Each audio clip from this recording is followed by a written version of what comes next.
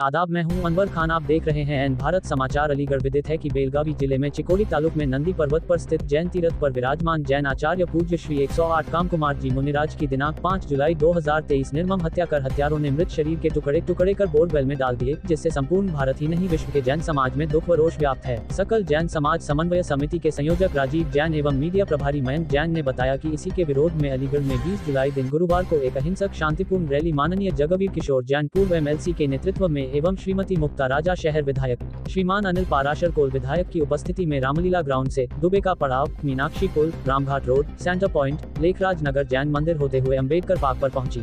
वहाँ पर हथियारों पर त्वरित कार्यवाही हेतु ज्ञापन माननीय प्रधानमंत्री, मुख्यमंत्री कर्नाटक सरकार, उत्तर प्रदेश सरकार, चेयरमैन राष्ट्रीय अल्पसंख्यक आयोग के नाम संबोधित करते हुए विशाल नारायण की रिपोर्ट।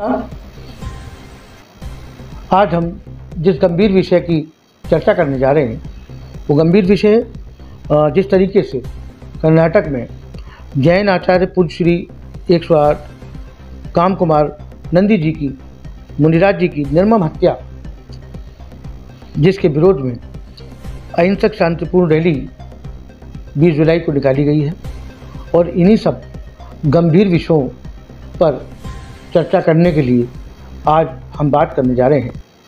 सकल जैन समाज समन्वय समिति के संयोजक श्री राजीव जैन जी से हम इस विषय पर चर्चा करेंगे। दुखद और नृशंस हत्या का मामला है।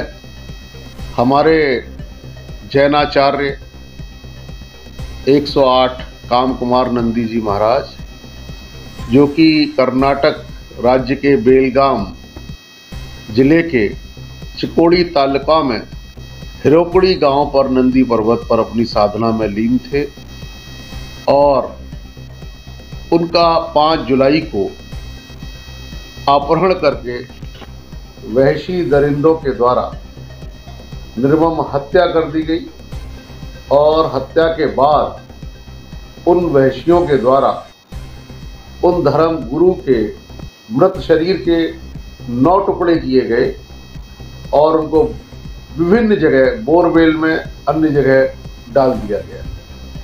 जब जैन समाज के संज्ञान में यह मामला आया तो उनके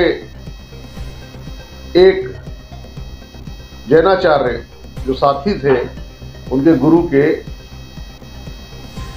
उन्होंने अनशन किया, अन्न जल का त्याग किया और सरकार को आगाह किया। उसके बाद दो आरोपियों को पकड़ा गया। और उन्होंने इस हत्या को कबूल किया। लेकिन उसके बाद कर्नाटक सरकार के द्वारा कोई सार्थक कदम नहीं उठाया गया, कोई कड़ा कदम नहीं उठाया गया। इस घटना की जाँच नहीं की गई, उससे पर्दाफाश नहीं किया गया। और वह पर्दे के पीछे क्या है, यह जैन समाज को नहीं पता कि क्यों उनके जैनाचार्य की इस तरह से निर्माण की है। सर, क्या कारण रही कि कर्नाटक सरकार ने इसको, इस हत्या को गंभीर, संज्ञा अपराध की श्रेणी में नहीं माना और समाज क्योंकि आज आक्रोशित है, आज उसके मन में एक